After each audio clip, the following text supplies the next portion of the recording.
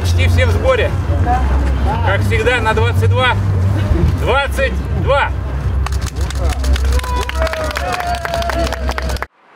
Этого дня ждали 18 месяцев, 557 дней, 13 тысяч часов. Движение по мосту на проспекте Ленина торжественно открыли. По новенькому дорожному полотну первая прокатилась спецтехника, следом трамваи и легковые машины.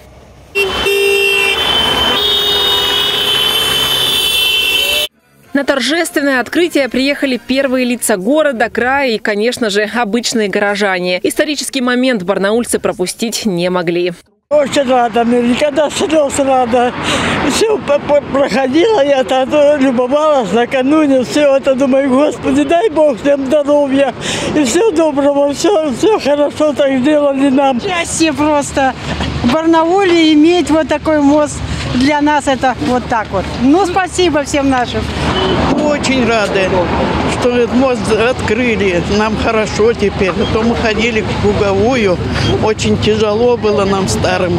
А сейчас какая красота. Очень хорошо все сделали. Молодцы. Мост на масштабную реконструкцию закрыли 21 мая 2022 года. Рабочие в круглосуточном режиме в технологические окна РЖД демонтировали старые путепроводы, переносили инженерные сети, строили шестиполосный современный мост, который выдержит одновременно 60 легковушек и 40 внедорожников, либо два танка общей массой 40 тонн.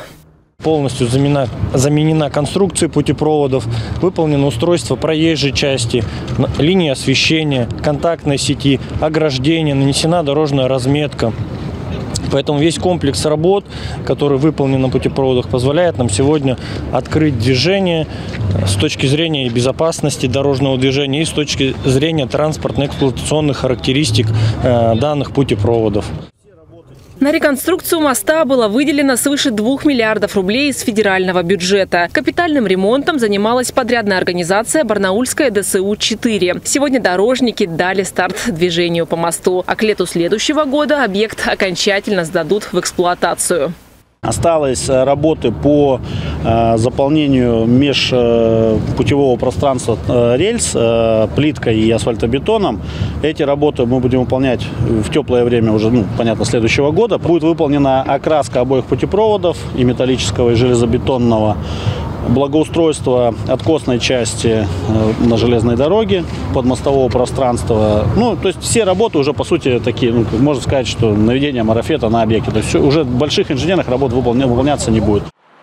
Завтра к легковым машинам присоединится общественный транспорт. Автобусы спустя полтора года вернутся на свои маршруты. Проспект Калинина и площадь Октября вздохнут спокойно. Автомобильные потоки распределятся равномерно. А это значит, что пробки и транспортные коллапсы в часы пик в центре города снизят градус недовольства. Валентина Аскерова, Андрей Печоркин. День с толком.